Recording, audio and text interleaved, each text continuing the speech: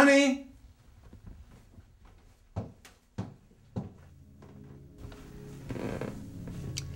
Good morning. It's not morning. It most certainly is. You've been asleep for six days. Well, I needed it. Yeah, you need all the beauty sleep you can get. You and me both, old man. Well, at least it works for you. You look more beautiful than ever. Hmm, flattery. Won't get you this remote. You do. You look fantastic. I look like I've been sleeping for six days. Well, I'd still love you if all you did was sleep. Now you're talking. God, something weird happened at work today. I saw somebody. They were putting up a cross. He looked at me, right through me. And the little girl. I felt so guilty. God, that's weird. I don't know. I don't imagine a lot of people like going back there. It's so easy to forget all those people. But um, I don't want to talk about that. Okay. What do you want to do tonight? Nothing. Nothing sounds good.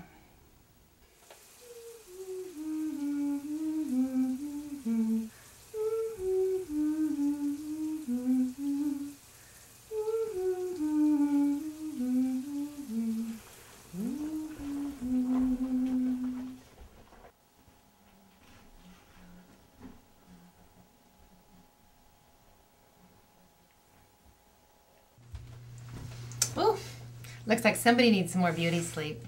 Oh, don't be so hard on yourself. I love you. I took some chicken out for dinner, and I'll see you tonight. Love you. Drive safe.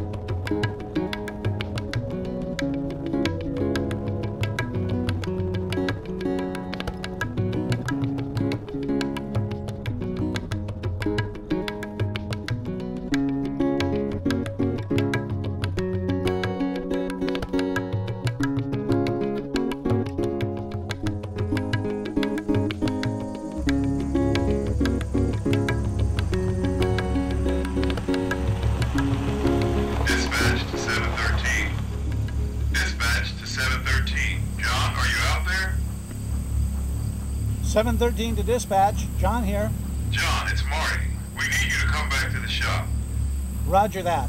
I have one more pickup about a half mile out. Then I'll be back for lunch. John, we need you back here right away. What's up, Marty? John, just come back, okay? All right.